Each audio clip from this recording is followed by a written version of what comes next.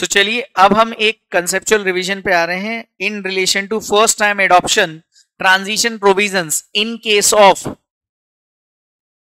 Ind AS 116 Ind AS 116 के first time adoption that is transition provisions के बारे में हम डिस्कस करने वाले हैं यहाँ पे conceptual revision within five to ten minutes और साथ ही साथ सेल्स एंड लीज बैक वाले ट्रांजेक्शन के बारे में भी बात करेंगे। चलिए फटाफट से स्टार्ट करते हैं। तो मैंने आपको बताया फ़र्स्ट टाइम एडॉप्शन के बारे में। फ़र्स्ट टाइम एडॉप्शन कब होगा? सर फ़र्स्ट टाइम एडॉप्शन हमें चेक करना है। हमेशा हमारा जो इंडियस 116 यहाँ से आया दैट इज़ फ़र्स्ट अप्रैल 2019 यहाँ से ये India one one six apply होता है। इससे पहले तक जो भी एंटिटीज थी, उन पर या तो आई ए एस सेवनटीन लग रहा था या ए एस नाइनटीन लग रहा था?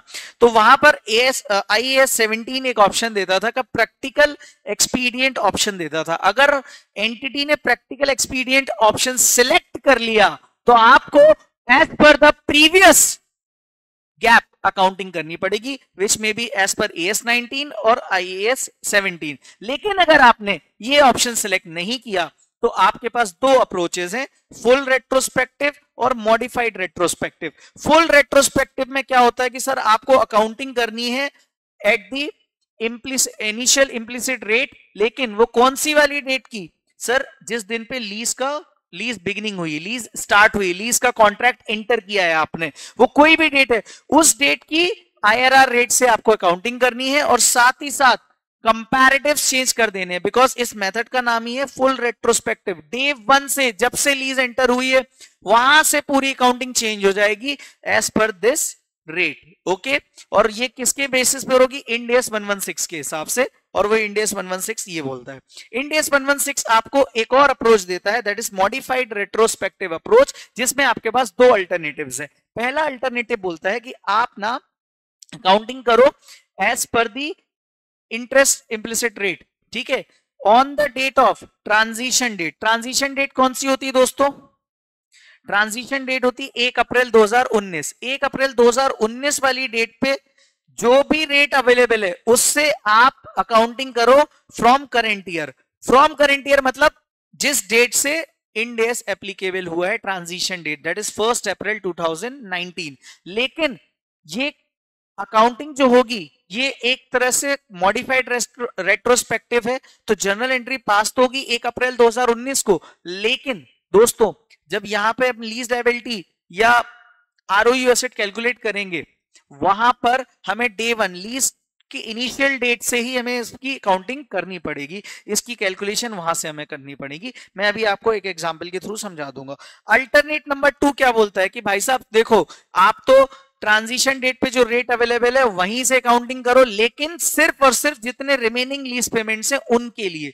तो आपको मैंने बताया इंड एस 116 आपको दो अप्रोचेस देता है। एक तो फुल रेट्रोस्पेक्टिव दूसरा देता है मॉडिफाइड रेट्रोस्पेक्टिव फुल रेट्रोस्पेक्टिव में आपको जिस दिन से लीज कॉन्ट्रैक्ट स्टार्ट हुआ है, उस दिन की आईआरआर रेट लेनी है और वहीं से अकाउंटिंग करनी है और जितनी भी रेट्रोस्पेक्टिव चेंजेस आएँगे, उनको कंपैरेटिव्स के साथ चेंज कर देना है। दैट्स इट फिर आता है मॉडिफाइड रेट्रोस्पेक्टिव मॉडिफाइड रेट्रोस्पेक्टिव में दो अल्टरनेटिव है। पहला अल्टरनेटिव बोलता है कि आपको transition date that is first April 2019 पर जो भी डेट अवेलेबल है, जो भी डेट अवेलेबल है, उस डेट से, उस रेट के बेसिस पर, उस डेट पे, उस रेट जो, उस डेट पे रेट अवेलेबल है, उस रेट से आपको पूरी अकाउंटिंग करनी है और अकाउंटिंग पहले दिन कौन सी डेट पे होगी? एक अप्रैल 2019 पे। कैलकुलेशन प्रीवियस सारी करके आओगे और जो बैलेंस आ रहा होगा उससे एडजस्ट कर दोगे। अल्टरनेट नंबर टू बोलता है, ज़्यादा दिमाग नहीं लगाना। जो रेट ट्रांजिशन डेट पर अवेलेबल है उसी पे अकाउंटिंग करो, लेकिन वो भी कितने रिमेनिंग लीज पेमेंट्स की? बाकी का दिमाग नहीं लगाना है। आपको मॉड्यूल में इलस्ट्रेशन नंबर 46 मिलेगा और उसमें क्लियरली आपको बताया गया कि तीनों चीज़ों को आपको कैलकुलेशन करनी है। तो फुल रेट्रोस्पेक्टिव में क्या होता है कि देखो, इस क्वेश्चन में क्या था, मैं आपको शॉर्ट में बता देता हूँ। एक अप्रैल 2017 को लीज स्टार्ट हुई थी। Commencement of the lease was from that first April 2017 जिस दिन पे 12 परसेंट रेट थी। तो आपको अगर फुल रेट्रोस्पेक्टिव से वो कैलकुलेशन करने को बोलता है तो आपको 12 परसेंट के हिसाब से करना पड़ेगा और पूरी कैलकुलेशन करनी पड़ेगी। वही सारे स्टेप्स स्टेप नंबर वन में क्या करते थे अपन? Present value of all lease payments निकालते थे। स्टेप नंबर टू में right of use of asset की वैल्यू निकालते थे। स्टेप नंबर थ्री में हम क्या करते थे? अमोटाइजेशन टेबल बनाते थे लीज पेमेंट्स का। स्टेप नंबर फोर में अमोटाइजेशन टेबल बनाते थे right of use of asset का। है ना? स्टेप नंबर फाइव में जनरल एंट्रीज पास करते थे। स्टेप नंबर सिक्स में प्योरल के एक्सट्रैक्ट निकालते थे। स्टेप नंबर सेवन में बैलेंस शीट के एक्सटेक्स निकालते थे। ठीक है? लेकिन सर मॉडिफाइड रेट्रोस्पेक्टिव अप्रोच में अल्टरनेटिव वन दिया है तो अपने को कौन सी रेट यूज़ करनी पड़ेगी? तो देखो, इन्होंने इंक्रीमेंटल बोरोइंग रेट दी थी अपने को इनिशियल एप्लीकेशन फ़र्स्ट अप्रैल 2019 को 10 परसेंट तो 10 परसेंट से ही करना है, यहाँ भी अल्टरनेट टू में 10 परसेंट से करना पड़ेगा। But point is point it's point is question में अपने को no practical expedient option are elected ये दिया हुआ था, तभी हमने इंडेस 116 लगाया। अगर ये नहीं दिया होता और वो देते कि इन्होंने प्रैक्टिकल एक्सपीडियंट ऑप्शन इलेक्ट किया है तो अपने को प्रीवियस गैप से ही अकाउंटिंग करनी पड़ती। अच्छा एक और चीज़ थी, एक और चीज़ थी कि सर, इन दोनों में, सर, इसमें ना लीज डेट कब से चालू हो रही थी? तो कैलकुलेशन हमें करनी थी फ़र्स्ट अप्रैल से। 2017 से कैलकुलेशन करनी थी और यहाँ पे हमें कैलकुलेशन करनी थी फ़र्स्ट अप्रैल 2019 को ही फॉर रिमेनिंग लीज पेमेंट्स यहाँ फॉर ऑल लीज पेमेंट्स यहाँ पे था रिमेनिंग लीज पेमेंट्स याद रहेगा? Okay okay. यही हमने किया था। देखो मॉडिफाइड अप्रोच में हमने present value annuity factor 10 percent निकाला था थ्री ईयर्स के लिए, फिर आर एसेट निकाला था। इसके बाद ये जो अमोटाइजेशन टेबल में ये जो एक अप्रैल 2019 को अमाउंट आ रहा है, और 2019 के हिसाब से आरओयू का जो अमाउंट आ रहा है, उससे हमने इनिशियल रिकॉग्निशन किया था, और जो बैलेंसिंग फिगर आई थी उसको रिटेन अर्निंग में पहुँचा दिया था। ये था अल्टरनेट नंबर वन और इसके बाद अल्टरनेट नंबर टू क्या था कि आईआरआर अगर अपने को क्या दिया है टेन परसेंट दिया है और रिमेनिंग पेमेंट्स के लिए तो हमारा एक ही साल बचता था और एक साल के हिसाब से हमने काउंटिंग कर ली थी। तो ये आपका मॉड्यूल का क्वेश्चन भी हो गया।